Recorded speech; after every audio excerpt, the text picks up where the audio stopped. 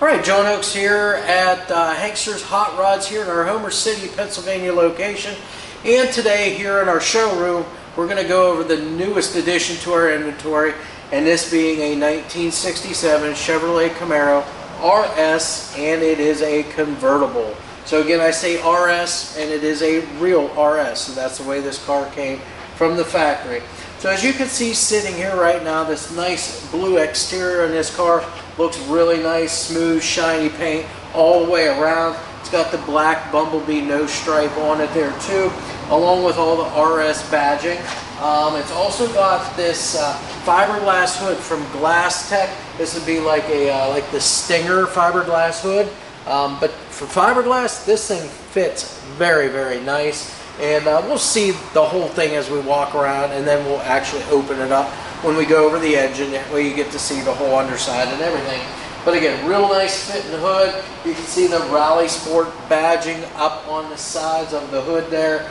Um, now, all of the bright work on this car, um, don't need to necessarily point out every single thing, but the bumpers, the drip rail moldings, um, any of your lower body molding like on the rocker panels and so forth, all of that stuff is in really good condition. It's nice and straight, polished up very well, no dents, no dings, it all looks good on this car.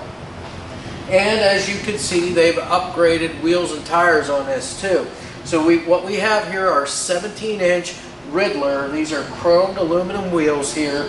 And as far as tires, these are Sumitomo HTR Z3s. Now the sizes, we'll just let you kind of view that on the website. We'll have that all listed. Besides that, when we do the underside video, they'll be right there readily available. I'll go ahead and mention the tire sizes there.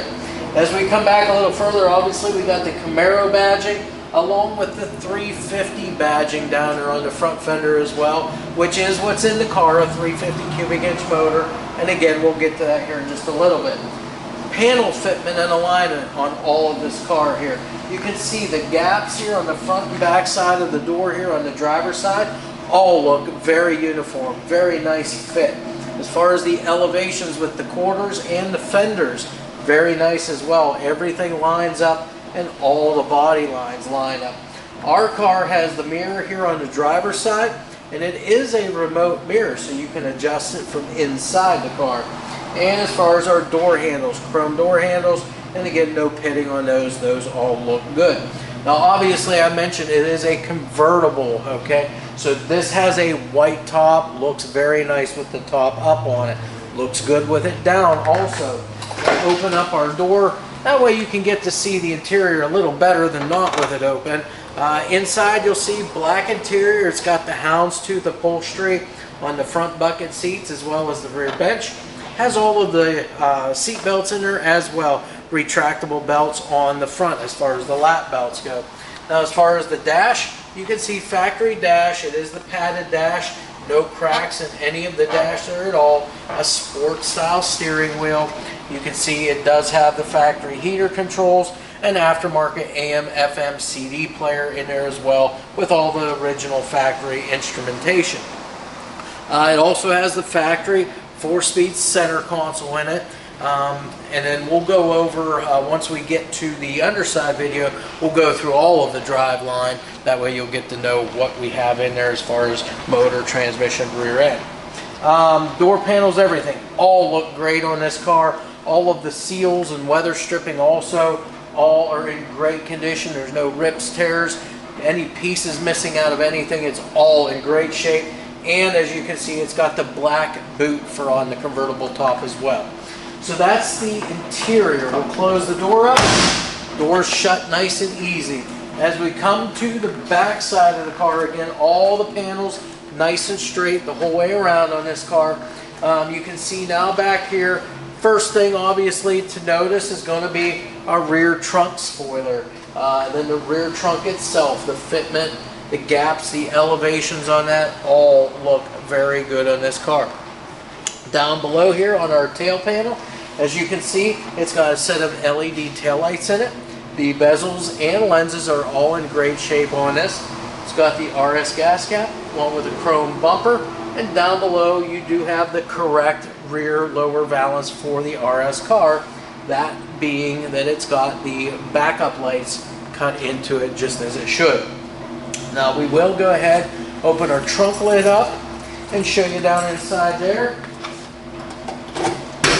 So first off, the key does work, latch works, the hinges and the spring all work. As you can see, underside of the trunk, painted the same blue as the exterior of the car. We've got the jack instructions up here just like it would have had originally. A full-size spare in here. It's got the hold downs. It's got the lug uh, bit here for your wheels because it'll have a locking uh, lug nut on there.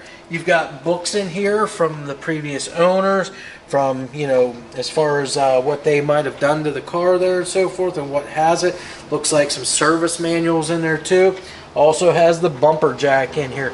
You can see the whole trunk itself, all one piece uh, trunk pan here.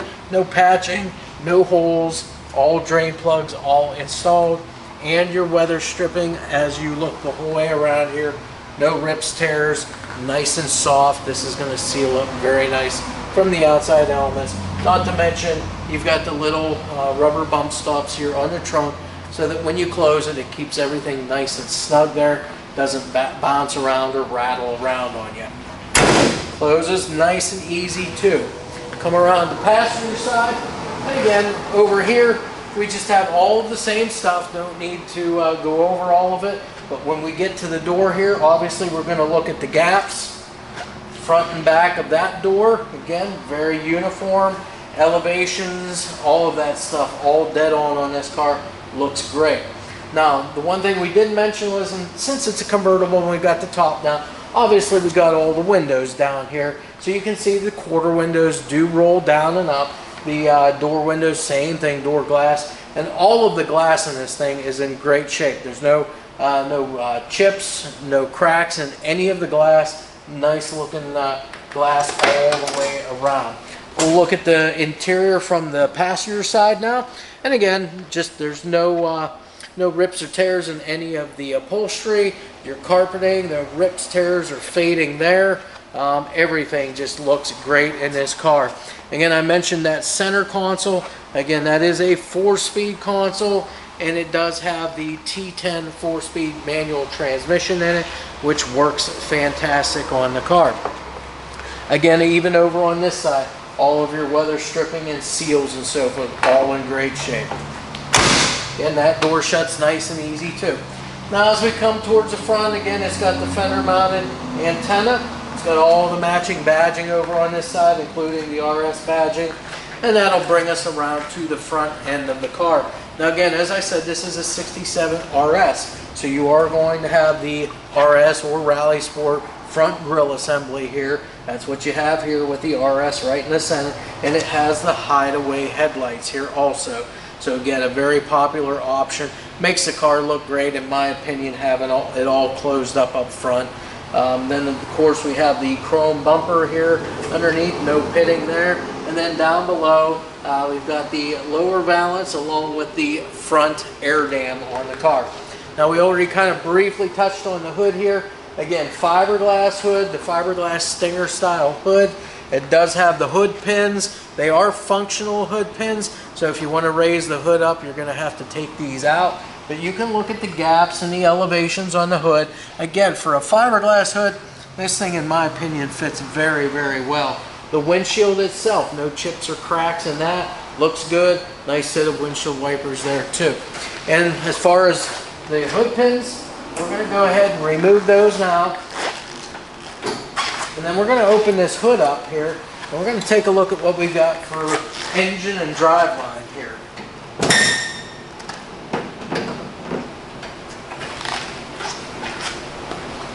Okay, so we got the hood open on the car and uh, first off, being a fiberglass hood, you want to make sure you got the right hood springs on it.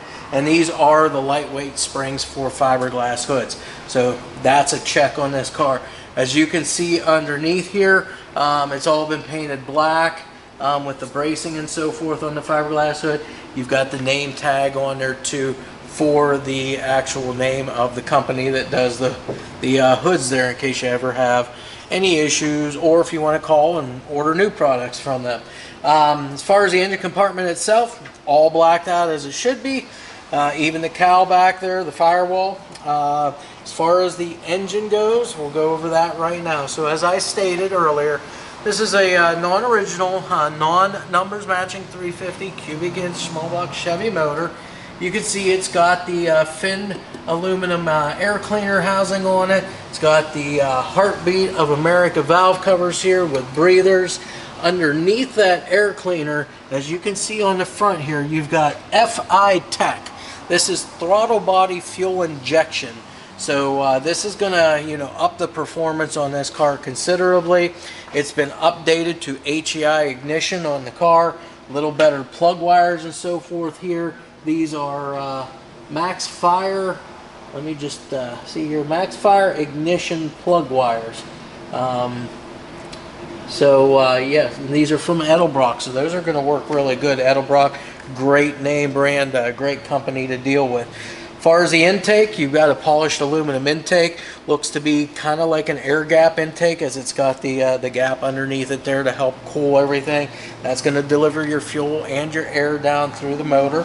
Um, as far as the other accessories, you've got aluminum pulleys on this car. You've got polished aluminum water pump. You've got both an electric and mechanical fuel pump.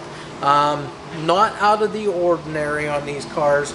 Um, they will sometimes use the electric pump to help prime it. And once the motor's running, it runs kind of off of that mechanical fuel pump. Got a nice aluminum radiator here for cooling with a shroud and electric fan. Now along with this throttle body injection, it's a whole complete setup, not just the throttle body. And it's all here, all good components here. Got a chrome alternator on here as well. Then when it comes to the exhaust, we've got long tube headers, and then of course dual exhaust, dual Dynomax mufflers, kind of like a turbo style muffler, and of course tailpipes exit the way they should between the leaf spring and the rear quarter panel. Um, as far as the rest of the stuff under the hood, it is power steering, it is power brakes, and it is disc brakes up front and drum brakes on the rear, complete with the parking brake all hooked up and functional. All right, so we have our 67 Camaro convertible up on the lift.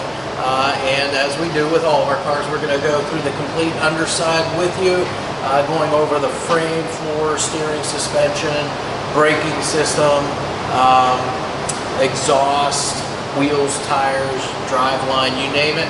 We'll go over it here right now for you. And we'll start with the front as we always do. So up front here, we just have our stock cross member here on the frame. Um, that is all nice and straight up here. Doesn't look like it's been abused whatsoever throughout its time. Looks in very good condition.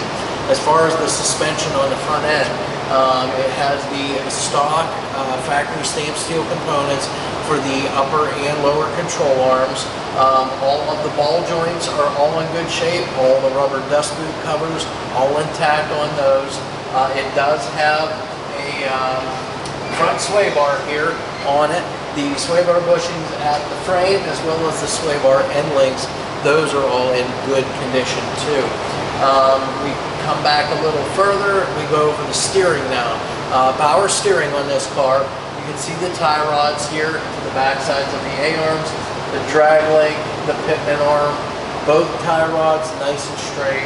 Uh, all the ball joints again in good condition with the rubber dust boot covers. And again you can tell everything's been greased and maintained very well on this car. Braking system we do have power brakes. It is disc up front drum down on the back um, it's going to be just you know your typical GM disc brake components so you'll be able to get you know parts and so forth at any auto parts store you might need to go to um, and then as far as wheels and tires, we'll just kind of complete the uh, suspension and steering with those. Uh, wheels and tires on this car, these are 17 inch Ridler wheels. Um, they're chrome five spoke design, real nice wheel. And as far as tires go, Sumitomo HTR Z3 tires on all four corners, same tread pattern. And up front, we've got two 25-45 ZR17s and on the back 255-40 ZR17. So just a little bit of difference there, a little wider, a little taller tire there. Um, let's come in now we'll talk about the drive line here, right up through the center of the car. So as far as the motor goes, this is a non-original, non-numbers match 350 cubic inch small block Chevrolet motor. It does have a chrome oil pan on it to help dress things up underneath there. Come back a little further to the transmission and we've got the Richmond T10 four-speed manual transmission. Of course, we've got the bell housing here and it does have the flywheel cover on the front of it to keep any kind of dirt or debris out away from that flywheel. Now, as far as the transmission and the engine, looking around the oil pan and all around the transmission, everything looks dry, free of leaks or drips even back here at the tail shaft where your seal is, where your slip yoke rides into there, that is nice and dry. Your transmission cross member, nice and straight the whole way across here, and the mount itself is in good shape too. Come back a little further, we've got our drive shaft, which is a balanced unit, keeps a lot of that vibration out of the drive line, and then of course the rear end. So what we have here, this is a GM 10 bolt rear. This is the 8.2 inch ring gear. As far as the gear in it, it is a 323 gear ratio. Now as you can see, as far as the suspension goes, they went with the mono-leaf rear suspension and then a set of air shocks on the back, easily adjustable just by using an air hose uh, on the Schrader valve that is on those as well. Uh, we've already been over the wheels and tires on the car, so that all um, has been going over. As far as the exhaust system on the car, uh, coming off of the heads, we've got a set of long tube headers here. Dual exhaust all the way back, set of dual Dynomax mufflers here, um, and they're like a turbo style muffler. And then of course your tailpipes up over the rear end, and then those exit out right between the leaf spring and the rear quarter panel on the car. That is how it should be. Again, this is a convertible, so you'll see a little bit of the extra bracing underneath the car here. You do find that on the convertibles. As far as the rest of the frame and the floors, the subframe on this car is nice and straight. Um, can't see any dings whatsoever in it. The body mounts are in good shape yet. Far as the floor goes, I don't see any patching or any holes to speak of. Everything looks to be good metal here. All the stamping lines are all in there, so it is all the correct metal. Um, like I said, all the bracing is there across the floors as well. And all of your drain plugs are all located where they should be. So that's the floors. Pinch welds are nice and straight up both sides and the rocker panels are good and solid on the car too from the underside here.